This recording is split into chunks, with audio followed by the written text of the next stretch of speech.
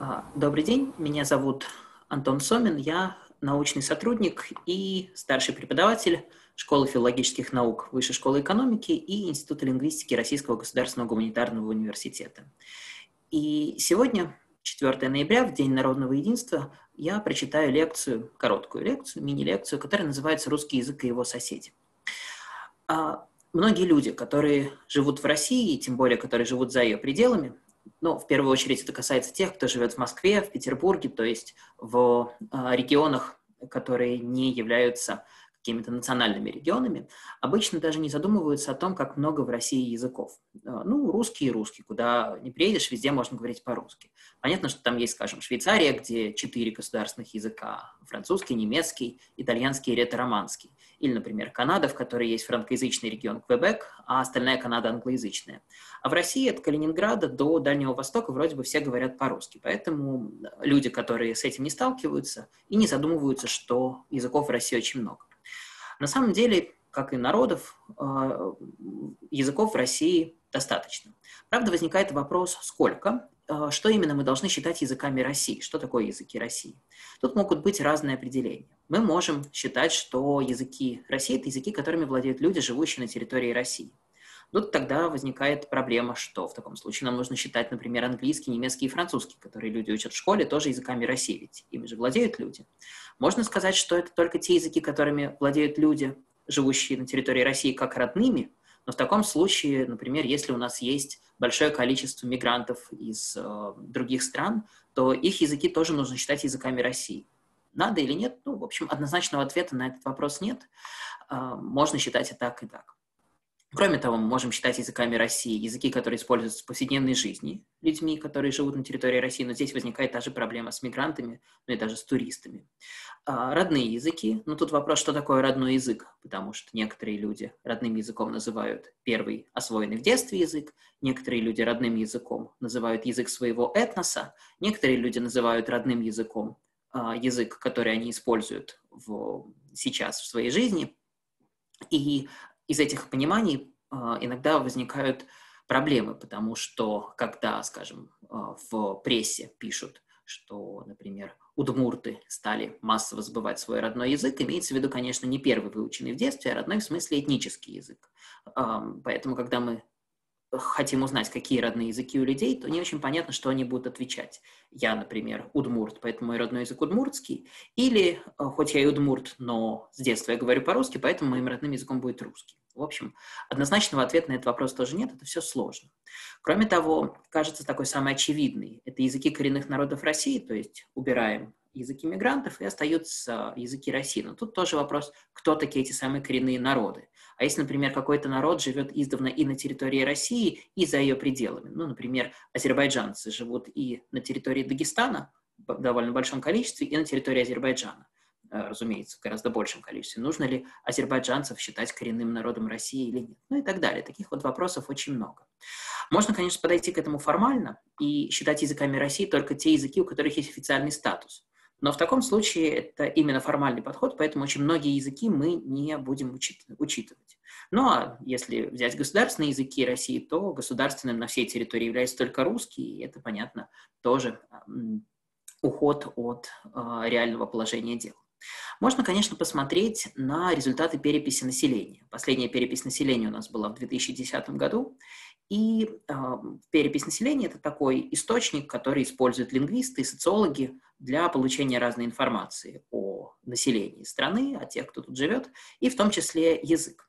Проблема в том, что э, в переписи населения спрашивают как раз про родной язык, и не очень понятно, э, вернее, там спрашивают отдельно родной язык и другие языки, которыми владеют люди. И, соответственно, э, мы видим, что сюда, например, из-за того, что здесь спрашивают про языки, которыми люди владеют, попадают, очевидно, не российские языки. Даже если считать, что у нас тут живет, может быть, много носителей этих языков, то это нет, потому что британцы и американцы всего лишь две с половиной тысячи,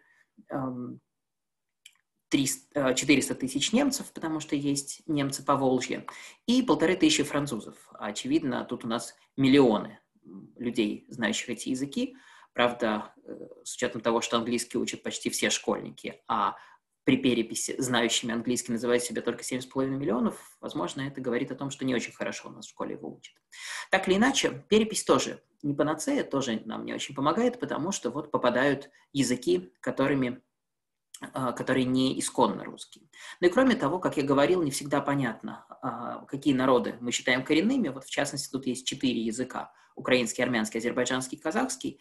А, во-первых, есть много мигрантов из этих стран, а во-вторых, на границах с этими странами есть люди, которые просто издавна там живут и являются представителями этой национальности. Считать ли это языками России или это не очень верно, если у них есть отдельные страны, тоже как такового ответа нет. Но обычно, если смотреть, попытаться через коренных народов идти, то в России около 200 народов, с учетом вот всех тех проблем, про которые мы говорили. Из них около 40% не коренных, а, часть частично коренные, то, что я уже сказал, а, то есть народы, которые исторически жили в некоторых районах России и при этом а, живут и за пределами Российской Федерации. Итого у нас получается около 80-100 языков коренных народов. Э, то есть, наверное, самый разумный ответ на вопрос, сколько в России языков, будет вот какой-то такой. Правда, опять же, по другим подсчетам у нас получается 150 и даже больше. Это вот в связи с народами, которые живут не только в России, в связи с тем, что не всегда понятно, что мы считаем языком, а что мы считаем диалектом. Например, эм, скажем, многие э, люди, которые говорят на адыгейском и кабардино-черкесском языке, э, называют их одним языком, адыгским или черкесским а официально это два языка. Плюс они еще делятся на диалекты, иногда некоторые из этих диалектов, например, беслинеевский, иногда называют отдельным языком. А, соответственно, а, такая вот научная классификация, изначально принятая в науке, и то, как сами люди оценивают, тоже может не совпадать. Поэтому у нас точного ответа на этот вопрос быть не может. Ну вот, от 80 до 150 языков есть в России. При этом государственными или официальными в регионах является около 50 языков. А, что это значит? Это значит, что, например, если у нас Татарстан, значит, государственным, кроме русского, там является татарский, и, соответственно, есть школы с татарским языком обучения, есть документация, подписи улиц а, на татарском и так далее.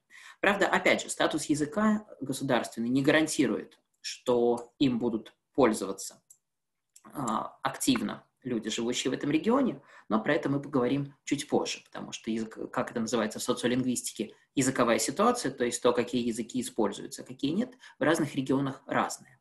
Ну и опять же, если мы посмотрим сюда, то увидим, что носителей татарского гораздо больше, чем, например, носителей якутского, хотя самих якутов э, не меньше, чем татар.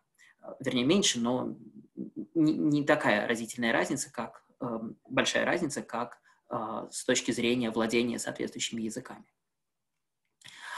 Если посмотреть на карту языков России, то мы увидим, что она достаточно пестрая. Правда, тут есть белые части, это такие части России, которые особо не заселены. Если бы мы закрашивали целиком, то понятно, что тут была бы, например, огромная территория Якутского, но это было бы искажение действительности, потому что тут только отдельные поселения якутоязычные. И, конечно, хоть у нас тут есть вот желтый цвет для русского языка, понятно, что желтым нужно закрасить всю Россию, потому что в России практически нет людей, которые не владеют русским языком. Немного их есть, это в основном а, очень пожилые люди, например, на Кавказе или на севере, которые а, преимущественно женщины, которые родились еще в то время, когда а, всеобщее школьное образование только начиналось, они всю жизнь прожили у себя в селении, никуда не выезжали, и, в общем-то, нужды в знании русского не было. Но таких людей все меньше и меньше, их может быть десятки, может быть несколько сотен в сравнении с полуторастами миллионами, которые живут в России, так что это не очень много. Ну и, конечно, есть еще новые иммигранты, которые пока еще не овладели русским языком.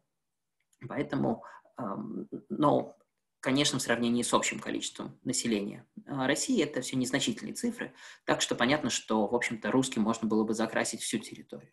Но нас здесь интересуют именно коренные языки. И здесь мы видим, а, что языки окрашены в цвета разных оттенков.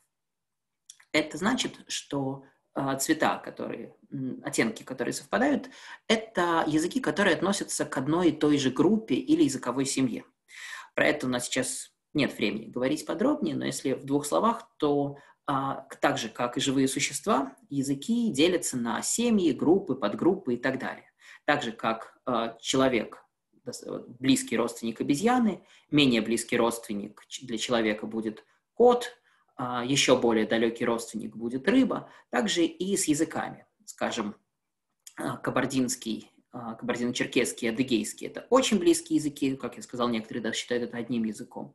Чеченский к ним будет близок, но все-таки очень далек, примерно как э, уже будет человек и э, рыба, скорее, вот такая будет связь. Но если, например, взять тюркские языки, то они все друг другу достаточно близкие, многие даже понятны без перевода. Э, носители, скажем, казахского языка могут достаточно много понять, если будут говорить на своем языке, с носителем татарского. Но э, на слух это не очень просто, а письменные тексты вполне себе понимаются. Вот, поэтому между разными языками разные типы отношений. И вот э, что мы здесь видим. Во-первых, мы видим такие теплые оттенки в европейской части России и за Уралом в том числе. Это уральские языки или финно-угорские. Финно-угорский, на самом деле, часть уральских языков, туда относятся финно-угорские языки, это значительно большая группа языков, относящихся к уральской языковой семье. Есть тюркские языки, это разные оттенки зеленого. Мы видим, что есть тюркские языки а, Поволжья, татарский, чувашский, башкирский. Есть тюркские языки а, гораздо восточнее, например, якутский, или вот здесь у нас есть казахский или а, тувинский.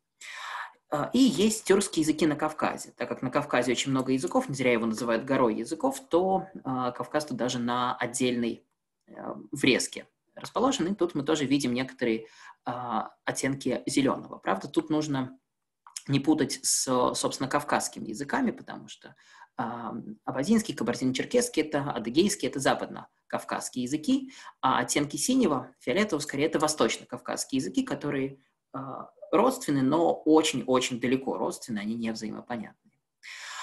Э, кроме того, у нас есть э, более мелкие языки, которые относятся к другим группам. Э, про них мы сейчас говорить не будем. Это в основном языки Дальнего Востока и севера России. Ну и некоторые здесь, например, ненецкий язык и некоторые другие. Если говорить о взаимодействии языков России с русским языком, то понятно, что э, они не развиваются изолированно друг от друга и, конечно, не влияют друг на друга. И вполне очевидно, что русский гораздо сильнее влияет на языки России, другие, чем эти другие языки на русский.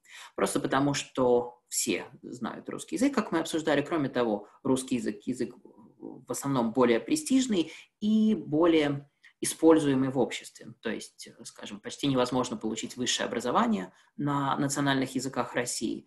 Школьное образование тоже практически полностью на русском. Ну, чтобы устроиться на работу, нужно знать русский язык, а национальный вовсе не обязательно. Поэтому, конечно, он как э, язык более используемый влияет на другие языки.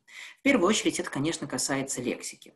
Понятно, что из русского языка заимствуется огромное количество слов в языке России. С одной стороны, это некоторое обогащение, ну, приходят какие-то предметы, они приходят вместе с русскими словами, появляются какие-то явления, они тоже приходят вместе с русскими словами. С другой стороны, а, носители русского не любят, когда в русский язык приходят заимствования, например, англицизмы. Э, хотя тоже можно говорить, что англицизм в каком-то смысле обогащает русский язык. И даже история с влиянием русского языка на а, языки народов России, потому что, с одной стороны, это пополнение лексического запаса, а с другой стороны, многие носители этих языков считают, что так же, как и англицизмы не нужны русскому, так же и русизмы не нужны этим языкам, потому что они вытесняют исконную лексику. У вас получается не чистый язык, такой вот смешанный. Но так или иначе, относиться к этому можно по-разному, но факт остается фактом. В языках России очень много заимствований из русского языка. Но в разных языках степень, а, размер этих заимствований, количество заимствований различается.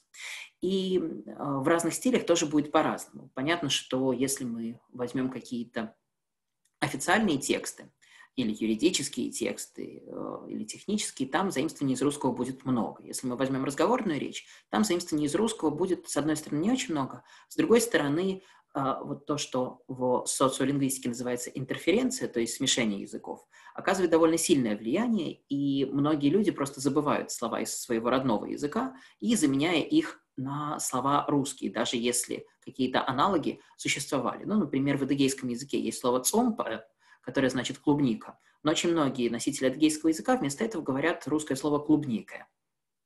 А, и когда мне доводилось быть с лингвистическими экспедициями в Адыгее, а, люди, с которыми мы работали, удивлялись, что вот а, я приехал из Москвы, а знаю, как будет клубника, они это слово уже забыли, читали его в детстве, в детских книжках, слышали, но сами уже его не используют. Ну вот я ради эксперимента открыл газеты, а, сайты газет на нескольких крупных языках России и выделил заимствования, которые в них есть из русского языка. Вот текст из адыгейского. И мы видим, а, красным я выделяю заимствование, оранжевым это уже повторяющиеся, что почти все заимствования это действительно какая-то официальная лексика. Или лексика юридическая, или лексика такая вот абстрактная, слово «проект», а, или политическая, федерация, президент, республика, электронный, муниципальный и цифра. Ну, действительно, это те вещи, про которые, в общем-то, на адыгейском а, не приходилось говорить до того, как Адыгея стала частью а, Российской империи сначала, а потом Российской, э, России в составе Советского Союза и теперь Российской Федерации. Вот текст на татарском, здесь заимствований гораздо меньше, причем одно из них легко угадывается редакция, а вот в этом слове «геджитте» гораздо труднее увидеть привычное нам слово «газета». И действительно, более старые заимствования часто меняются фонетически, это мы еще увидим на примере якутского языка.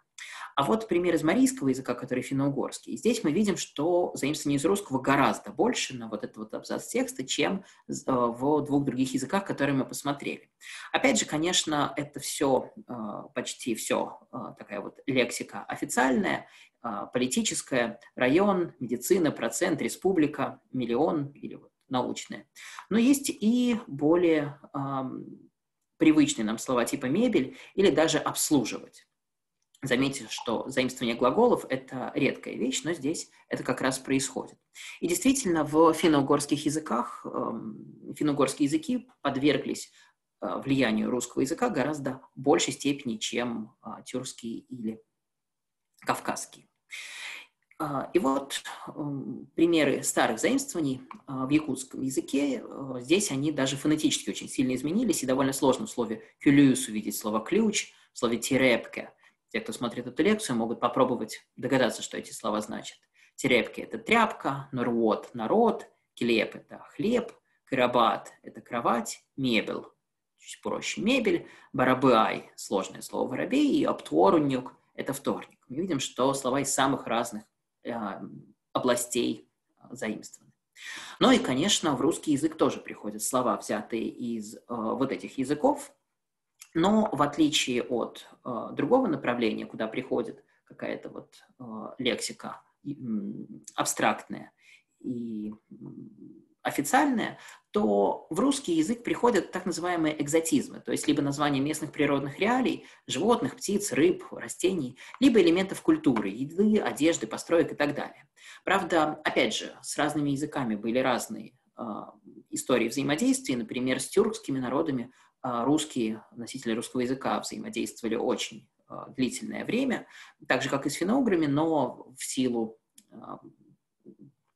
а, в силу разных военных и прочих аспектов истории, татаро-монгольского ига и так далее. В русский язык пришло очень много тюркских слов, а финно-угорских слов пришло гораздо меньше. И тюркские слова приходили гораздо раньше. Например, были еще даже до монгольские, до татаро-монгольские заимствования, которые пришли даже не только в русский язык, а в целом в славянские языки. Их можно найти и, например, в польском языке, и в украинском, и даже в чешском, который достаточно далеко от русского. Что это за слова? Ну, например, это одежда и обувь. Башма, кафтан, шаровары, тулуп, сарафан и так далее. А, обратите внимание, что вот даже мы считаем слово «сарафан» или э, слово «сарафан» таким обозначением для типично русского предмета одежды, но это, э, оказывается, тюркское заимствование. И это не только какие-то устаревшие предметы одежды, но мы видим, что слово э, «чулок» или, например, фата, которая свадебная, вполне используется в современной жизни. Много достаточно слов из сферы государства, экономики, военного дела. Например, слово «деньги» — это заимствование слова «тенге», казна. Правда, тут нужно сделать оговорку, что некоторые эти слова приходят, хоть в русский пришли из тюркских языков, сами они являются не тюркскими, а, например, слово «казна» в тюркские языки пришло из арабского языка, то есть а, здесь нужно говорить уже о тюркском посредстве. Но так как нас сейчас интересует не первоисточник, как они в русский попали, то их тут можно а, упомянуть. Казна, хозяин, тюрьма, богатырь, вот тоже казалось бы, богатырь, такое очень русское слово, персонаж русского фольклора, а тем не менее это тоже тюркское заимствование. Много разных прочих слов, которые совершенно не осознаются как заимствованные. Лошадь, собака и таракан, если брать животный мир. Стакан, сундук, если брать быт. А, карий и карандаш, которые образованы от корня кар, который значит черный. Башка, которое даже жаргонное слово, восходит к тюркскому слову баш, которое, собственно, и значит голова, и так далее.